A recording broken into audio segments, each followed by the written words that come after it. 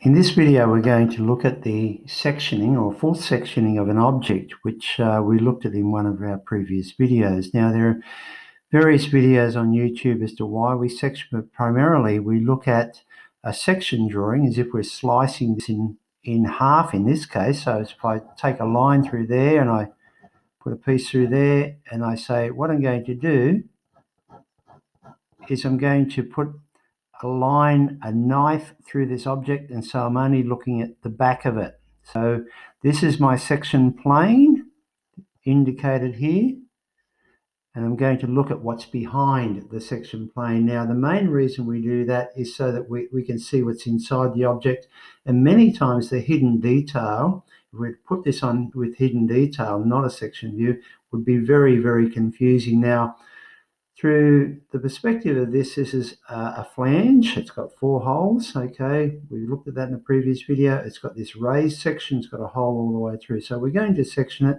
In this case, it's going to be a full section. The next video is going to be a half section. What I've already done is to indicate that this happens to be 10 millimeters thick. This happens to be 40 millimeters high. Now, I'm just going to check. Okay, that's 40 millimeters between there and there, and that's going to be another 10. If I was to cut this in half, what I would be seeing is, and I'm just going to place a small sketch over the side here, is that just in a, a small view like that, I'd be seeing an object with a hole in it. Comes down through there Okay, it would then reach a center point, and I'm just going to sketch that in.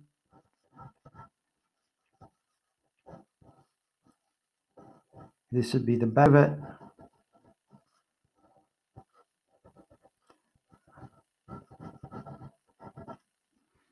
Now, a little bit out of size there.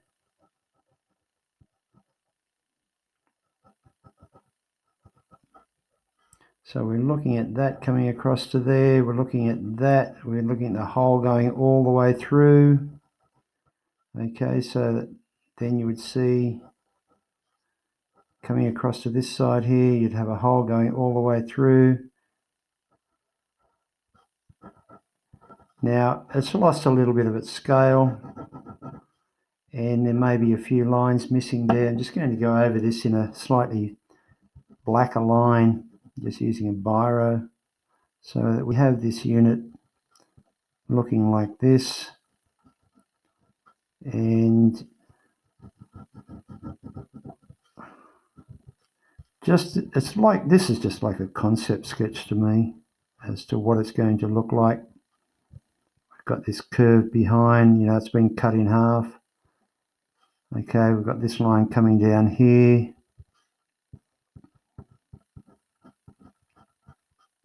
and the hole that goes all the way through now.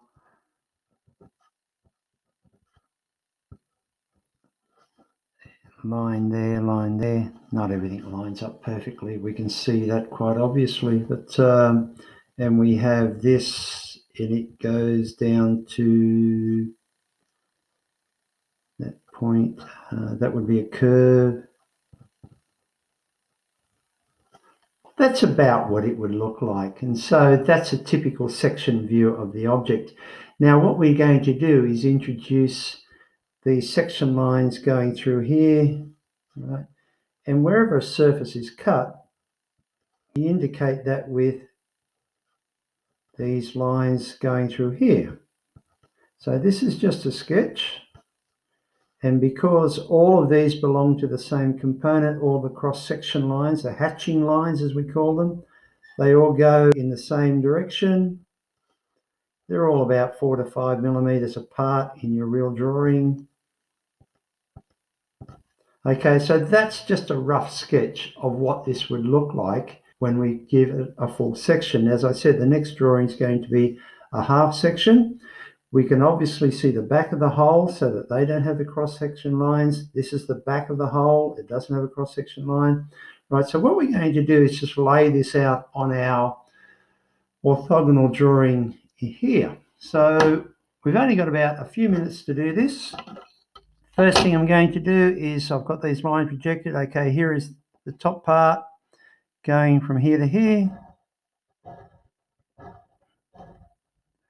So I've got a line across here. This is the bottom of it coming straight down.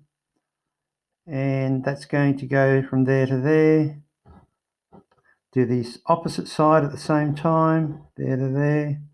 All I'm doing is looking down, looking across coming down, looking across. You do have to bear in mind that when we are doing some of these drawings, we do make mistakes and we simply correct them. Okay, so that follows that idea. Okay, we're going to firm that in on this side. Firm it in on this side.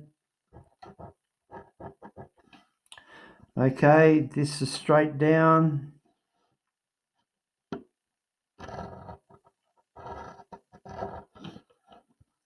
This is straight down. Now, remember I said this, once this is cut, this line going to the center has disappeared. So I'm going to draw the hole in now and I might just spin my ruler around. Okay, I'm going to put the hole in. hole goes all the way through. We don't have to concern ourselves with that. We agreed with that prior on the other video. The hole goes all the way through. You can see I've already put my center line in.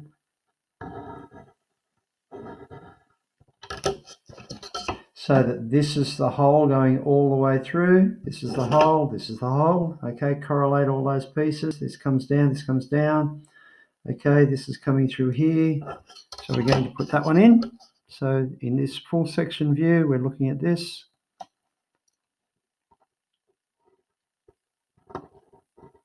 We're looking at this side of the hole.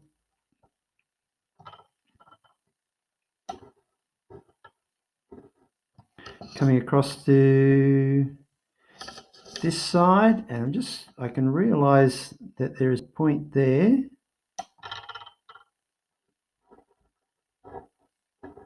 There. And there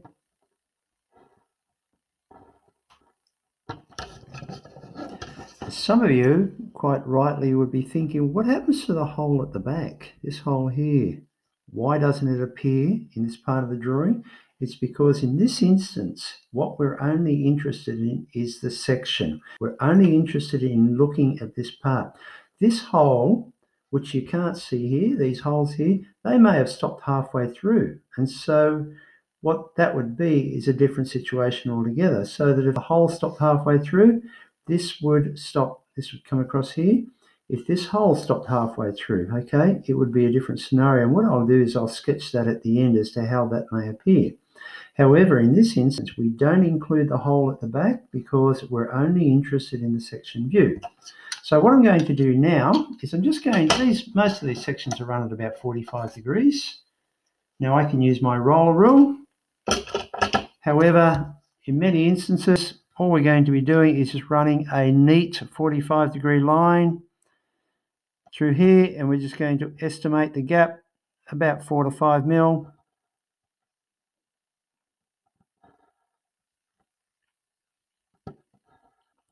Running it through all the way along here. And some of you will realize well that's the other side of the hole.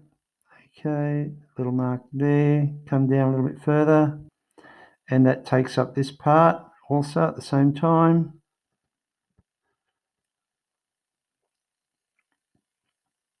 It's about right. As you can see, just trying to keep it neat. Each one of those lines goes through.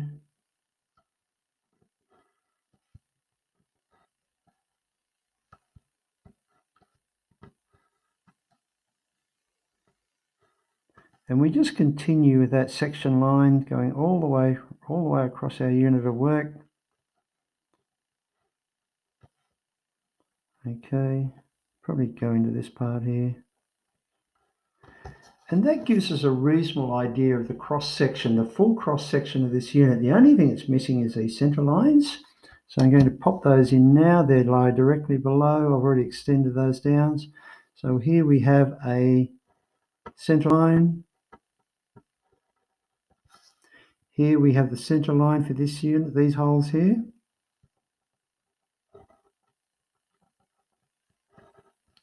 And with a few minutes to go, I can just put on this top view.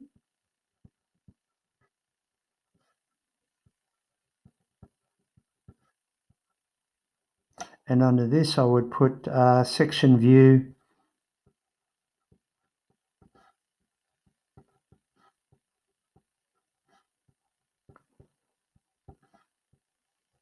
AA.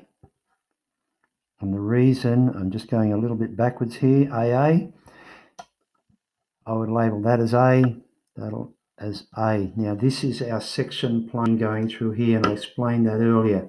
That is A, that is A. That's a section view AA. So we're looking at it from this direction. We're looking at the back of it like this, so that this would be, I pencil that across there, pencil that across there, okay. That's A, that's A, so that that is the direction of the section plane. Now, earlier I said that this may these holes may not go all the way through. If that was the case, and we've only got a few minutes to go on this, so I'm just going to do this very quickly. I'm just going to try and sketch this below. If the holes weren't to go all the way through, we could say, right, this is the bottom of it. Okay, we're having a sketch around here. Okay. This is the top of it coming down come down. Okay, that comes to there, comes to there, got a hole through here, hole through here, and we're going to stop that hole. And if we had the hole at the top, and that happened to stop, and if it was put in place by a drill or something like that, um, that may be pointed. Okay, that would go like that. We'd have a hole there, a hole there, and we're going to say this top one stops. What it would look like is, again, just a very quick sketch. It would look something like this. Now, this is not what you've been asked to do. We've been asked to do a full section just on that, assuming the hole goes all the way through. Again, this has lost a little bit. Okay, this hole here might stop. Sorry, that should be curved at the back. That would be line all the way across. And if that hole was drilled down, there's every chance it would look like that. that would look like that. That would come into there. Righto, that's in place, that's in place, that's a curve, that's a curve. Righto, that's a line, that's a line. Okay, so that the section view, if that hole didn't go all the way through, these holes didn't go all the way through, righto, what they would look like is that, so that this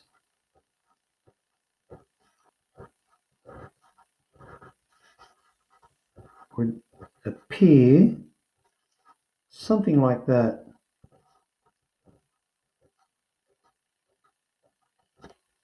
Now, again, this is a full section showing that the holes go all the way through. This is a full section sketch as if the holes didn't go all the way through.